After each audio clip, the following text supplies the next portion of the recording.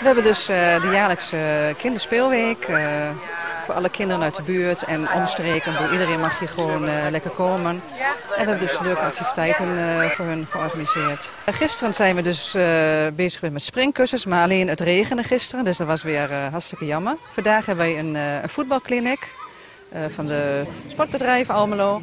Dus die zijn hier lekker met de kinderen bezig. we hebben nu een beetje waterspelletjes erbij gedaan. Ik ben Joël Bernink. Waar voetbal je nu dan? Lector. Beste club ter wereld.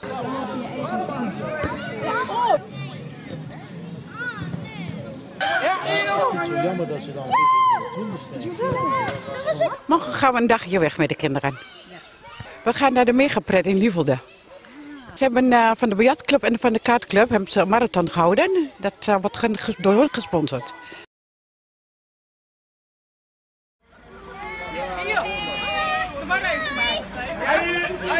Ja, mooi, mooi.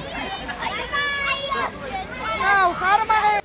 Donderdag beginnen we pas middags om 4 uur. Dan hebben we nog een buffet en de afsluiting met een disco.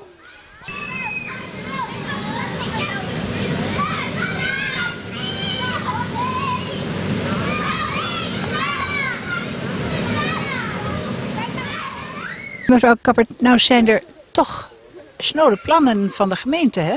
Ja, ja daar zijn we ook echt niet, uh, niet blij mee. Uh, we vechten hier al jaren voor om uh, met elkaar lekker te bestaan. En dat wij dus mensen lekker naar binnen kunnen laten gaan bij een buurthuis. laagdrempelig, leuke activiteiten voor hun. Waarom zijn buurtcentra zoals het DOC belangrijk? Wij vinden gewoon uh, in een buurt, hoort gewoon een buurthuis te zijn... waar iedereen lekker naar binnen kan lopen, jong en oud... Uh, die uh, hun probleempjes hebben of die, die zich eenzaam voelen.